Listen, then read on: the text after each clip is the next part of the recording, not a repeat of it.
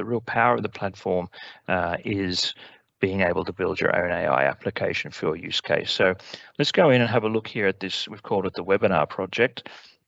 Uh, this is uh, yeah. This contains images that James scanned a bit earlier and sent across uh, to IKOSA earlier. And so if we have a look here, we can go in by clicking on the image. We go into the image viewer, and these are pretty pretty large images. Uh, and at this at kind of this zoom, you you really you, you kind of can't can't see a whole lot. We just wait while that loads. But then if we if we zoom in a little closer, you can see that the cells actually become much more apparent. It'll take a moment for for the uh, the, the in focus slides to load there. Uh, but you can see all these other, I guess, know, marks on the slide here. So these are specifically uh, annotations and also around the annotations a thing that we call a region of interest. So in order to, to train your AI application, uh, you will need to annotate the cells uh, within that image. It's, it's, coming into focus now, so my internet connection a little bit slow. Um, you need to annotate the features in your image, and in this case, it's these cells. Yeah. Um, so to do that, we use these tools over on the right-hand side here. I have a quick uh, question for you, Phil. Yeah. Um, yeah. In in terms of annotation, how many images do you need to annotate uh, to train an AI, yeah. and how many annotations? So with IKOSA, you can you could train your own AI app with just with two images. So you need wow. one image for training and one for validation. Now, I'm not necessarily recommending that uh, that yeah you go with only two images, especially if you have more. I mean, maybe maybe eight to eight to ten images is a is a good uh, eight to ten images is a good number to start with. Um, but you can do it with two, and then you know, you'll see with the, the app that, that I trained a little earlier, we we got some really nice results with about a thousand annotations, so about a thousand cells annotated. Uh, again, if you wanted to make a really robust application, I'd probably you know double or maybe maybe get to about three thousand annotations. I've found over time I can annotate, you know, if I'm hand drawing uh, annotations around cells, about 400 350 to 400 cells an hour. So there's a couple of hours work, but if you've got a team of two or three people, it's it's easily achievable uh, in an hour or two to annotate more than enough to train a really nice app.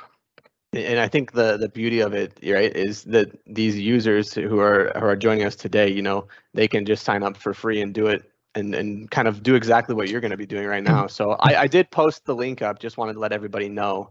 Um, but yeah, just everything that that Phil can do, you can do. So yeah, and probably better. Yeah. yeah.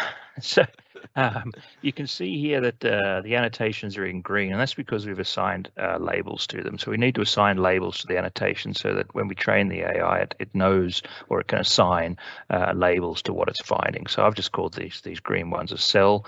Um, so we use these tools over on the left here. I've just used the freehand drawing tool, uh, and then you would you know just draw around the cell that you wish to, to annotate. And what I haven't done is turned on the draw and assign button. So you'll see those have gone orange, which means they don't have a label assigned to them.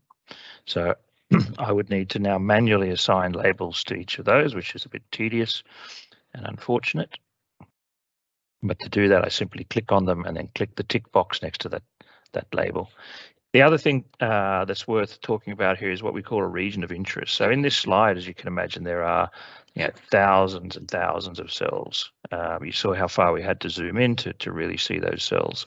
So this dotted line here is what we call, uh, we've drawn around a, a, region of interest. That means you only need to annotate what's inside that region of interest. So instead of sitting here for weeks uh, months annotating cells, every single cell in an image.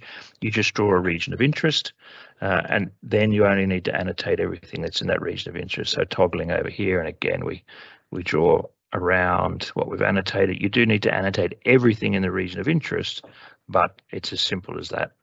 These regions of interest, to be fair, are probably a bit small. Uh, yeah, I'd recommend larger regions of interest so the AI learns some context. But these are two key concepts you need to understand about annotating signing labels, and then drawing these regions of interest. But then it's as simple as that. So once you've done that, uh, as you saw in the image library here, there's there's uh, seven different images. Three of them have annotations. So a bit over 300 each, so around about a thousand annotations and some regions of interest. Uh, and then we can go ahead and train train an application. So we choose IKOSA AI over here, new training. Again, this is in the free trial, all of this functionality is fully fully available. There's nothing nothing that's restricted, so you can do all this yourself. We select the project, this case, it's the webinar project. We have two different training types, a semantic and an instance segmentation. Um, we do have a knowledge base and uh, help pages to explain everything about uh, what these two different types are. In this case, we want the instance segmentation because we're detecting you know, individual objects, counting them, they're very close together, sometimes even touching. So we choose the instance segmentation. We only have one label type, so we select that. And then when you train an AI algorithm, you do need to split between training images and validation images. So the validation images are when the AI basically takes what it's learned and compares what it finds in an image against the annotations that you've made in that image. So in IKOSA, you can let IKOSA randomly split that, usually something like 80-20, uh, or you can manually assign which images you wish to use for validation. I usually just leave it on random unless there's a really good reason to go for manual. We have 2D images here. then we select the images we want to uh, train with. There was three of them we noted that had annotations, so we select all of them, and we want to make sure that we train on the regions of interest, not the whole image.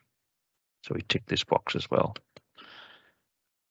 We have two types of training, quick and, and extended. Quick training's finished 15 minutes. it's great to understand, you know, uh, uh, are you on the right track? Do you have enough annotations? Are you getting some decent results? You know, is the AI going to work for your use case? And the answer is usually yes. Uh, quick training is fantastic just for, for you know finding that out. Once you're at a point where you think, okay, I'm, I'm happy now, uh, you could move to an extended training to really squeeze the last bit of performance out of the out of the algorithm. But that could take up to six hours. So that's something you probably want to do at the end of the day and uh, and leave it, go home and come back and have a look in the morning. And again, like uh, like the image analysis, when the training's finished, you do receive an email to let you know. And then we we review it. So we give it a name.